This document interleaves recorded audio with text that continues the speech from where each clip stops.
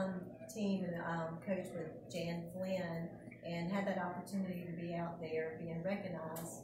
And one of the things that we had always, Coach Hendricks and I had always stressed to the girls is that you just cannot explain the, the pride um, that you have for your school and your community and just how much fun it is to make it to that point.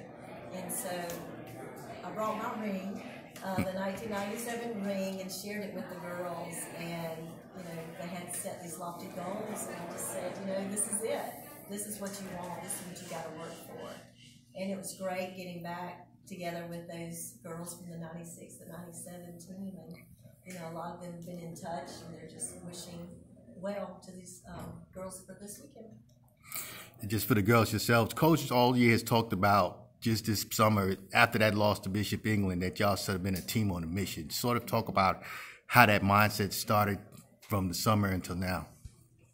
Well, going into it, Bishop England, we had a big target on their backs. We really wanted to beat them again since they ended our season last year. But then after the Bishop England game, we knew that we were going to play them early on in the playoffs.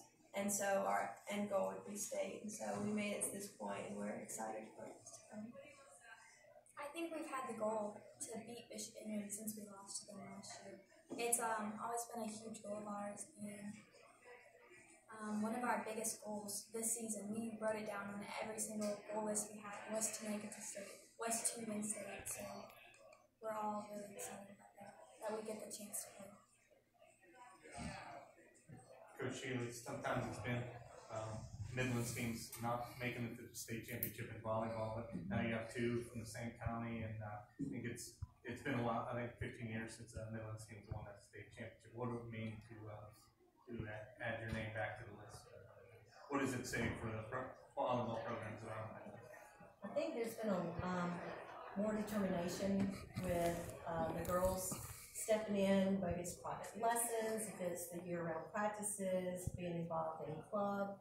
Uh, the expectation um, with our Lexington One School District, you know, we have a lot of kids involved in outside um, programs as well as our our high school teams, and they just continue to push and excel. And I think that's really picking up um, the level of play in the Midlands area.